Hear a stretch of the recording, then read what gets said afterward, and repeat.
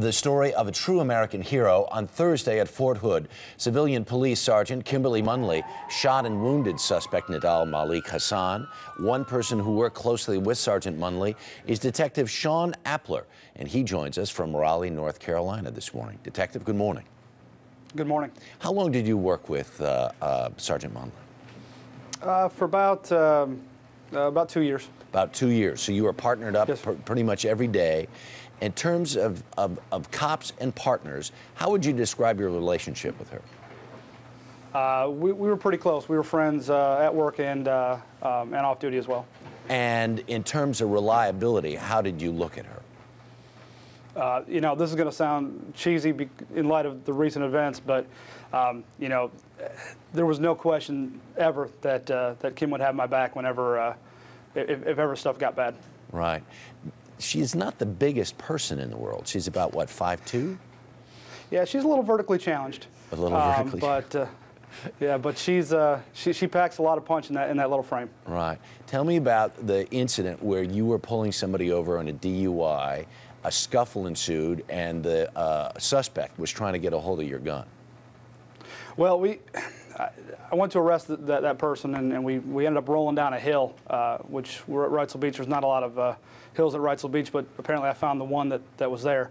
Um, we rolled down the, uh, the embankment, and when we got to the bottom, uh, the, the, the person ended up on my back. Um, it, it was, it was funny because I, I called Kim ahead of time, and, and uh, as I was looking over my shoulder, uh, fighting this guy off, I, I saw Kim running up. She ran up and, and leaped through the air literally and jumped on this guy's back.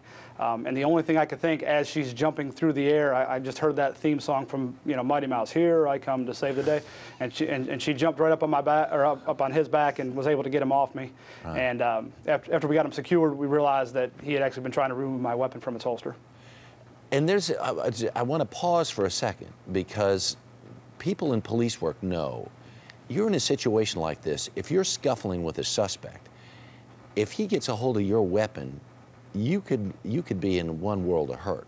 She really, absolutely. literally saved your life that day. Absolutely. Yeah. When you heard the news of how she responded on Thursday, what was your reaction? Well, you know, of course, I was surprised just to hear the news that had happened. You know, as far as Fort Hood and and uh, but when I heard that that it was Kim and how she responded, uh, no surprise at all. Uh, there's no question. I, I knew Kim could do that. Yeah. And of the people that you know who respond to being called a hero, how do you think she's going to w- want to wear that? Uh, probably in true hero fashion. She she's very humble. Not going to want a piece of it. There you go.